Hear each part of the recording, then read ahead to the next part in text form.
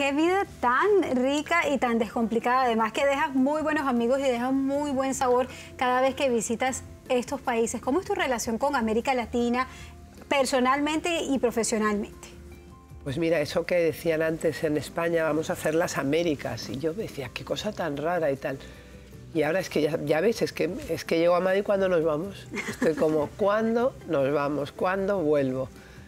Y, la verdad que feliz de, Latinoamérica es un continente que está en un momentazo. Yo digo que antes era el patito feo y ahora se ha convertido en un cisne. Y como la verdad que muchos países de Latinoamérica lo han pasado muy mal, pues tienen muchas ganas de divertirse, muchas ganas de moda, mucha necesidad de color. Y por eso yo me siento aquí genial.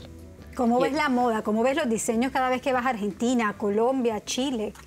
Pues cada vez los veo mejor porque, ya te digo, todo el mundo hay miles de Fashion Week. Solamente en México, por poner un ejemplo, yo he desfilado en el DF, he desfilado en Monterrey, he desfilado en Guadalajara, en Aguascalientes, en Cancún, en Tulum y, eh, en, San Miguel de Allende, en, Puebla. En Puebla, sí. En muchísimos sitios. Es que, bueno, he estado en Acapulco, es, no, en, Sí, en Acapulco.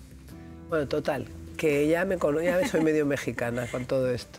Y ellos orgullosos, obviamente. Yo creo que todos los latinoamericanos queremos que seas de cada uno de, cada, país, porque has dejado tu corazón. Me cuesta poquísimo.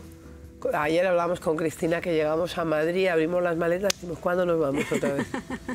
Pero eso no puede ser porque también tengo que estar un poquito en Madrid y en Europa. En casa y tengo que ir a París y tengo que ir a Milán y tengo que, moverme, eh, que estar por Portugal, donde fabrico muchas de mis cosas.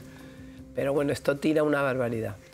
La hora hola, el momento que más disfrutas del día. ¿Quieres más de Hola TV?